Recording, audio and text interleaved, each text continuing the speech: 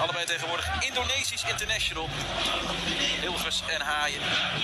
Miljoenen volgers daadwerkelijk op Instagram. En alle wedstrijden van Indonesië bij ons te zien. Hier is Van.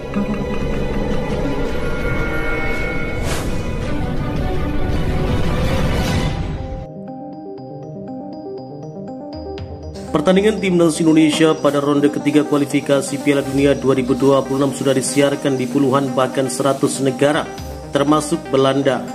Kebanyakan dari negara-negara Eropa sudah tak sabar menyaksikan laga krusial antara timnas Indonesia versus Bahrain dan timnas Indonesia versus China yang akan berlangsung 10 dan 15 Oktober 2024 mendatang. Kebanyakan dari negara-negara Eropa tersebut mengaku takjub dengan perkembangan kualitas permainan timnas Indonesia yang begitu naik signifikan. Belum lagi lagu kebangsaan Indonesia Raya dan yel-yel lagu Tanah Airku yang dianggap keramat oleh para media asing itu. Semua itu semakin membuat 100 negara tersebut tak sabar menayangkan laga seru dan krusial. Beberapa stasiun TV Eropa mengaku terkesima dengan lagu Indonesia Raya dan Tanah Airku mereka menganggap lagu tersebut mempunyai makna yang sangat dalam dan indah untuk didengarkan. Khusus di Belanda, laga timnas Indonesia versus Bahrain ditayangkan oleh ESPN saat siaran langsung pekan ke-6 Divisi antara Almere City melawan FC Cuinci. Pertandingan antara Bahrain versus timnas Indonesia diiklankan. Tak mengherankan memang karena dua klub itu diperkuat pemain timnas Indonesia Tom Haye Almere City dan Michel Gertjuinci dalam laga tersebut, Miss Helger mencatat satu asis Almere City remuk 05. Sam Stagen mencetak bridge pada babak pertama, 2-0 untuk Cuinci bertahan hingga turun minum. Babak kedua, tiga gol Cuinci bersarang di gawang Almere lewat aksi Sam Lamers, Ricky van Wolvertwiskel dan Anas Salah Edini. Gol Anas merupakan asis dari Miss Helger. Skor 5-0 bertahan hingga laga tuntas. Berkat kemenangan ini, Cuinci naik ke posisi 4 klasmen sementara dengan raihan 11 poin. Timnas Indonesia direncanakan berkumpul pada 5 Oktober 2024 untuk menghadapi dua pertandingan grup C putaran ketiga kualifikasi Piala Dunia 2026 zona Asia.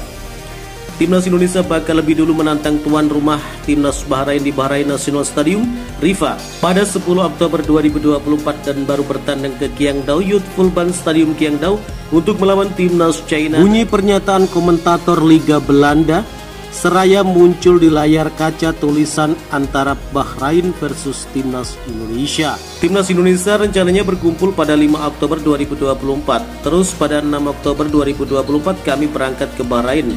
Ucap Ketua Badan Tim Nasional BTN Sumarji. Timnas Indonesia bakal menggunakan penerbangan komersial ke Bahrain, tapi akan menyewa pesawat ke China.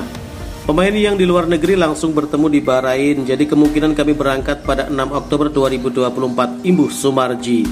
Saya masih mencari alternatif yang bisa satu penerbangan, sebab Coach Sintayong meminta beberapa pemain menaiki kelas bisnis, jelas Sumarji. Ketua Badan Tim Nasional Sumarji mengabarkan bahwa dua calon pemain naturalisasi Timnas Indonesia Michel Helger dan Eliano Reginer akan disumpah kewarganegaraannya pada tanggal 30 September 2024, Miss Helger dan Eliano Reginer tetap bakal diambil sumpah kewarganegaraan Republik Indonesia di Kedutaan Besar Republik Indonesia KBRI Ado Den Haag Belanda oleh Kementerian Hukum dan HAM Kemenkumham. Saat ini Miss Helger dan Eliano Reginer tinggal menunggu pelantikan sebagai BNI setelah keputusan Presiden Kepres sudah diteken oleh Presiden Republik Indonesia Bapak Joko Widodo. Kini menarik menantikan laga seru laga sengit antara timnas Indonesia versus Bahrain dan juga timnas Indonesia versus China yang akan berlangsung pada 10 dan 15 Oktober 2024 mendatang. Bagaimana menurut kalian? Jika suka dengan video ini, nantikan video kami selanjutnya dan salam olahraga.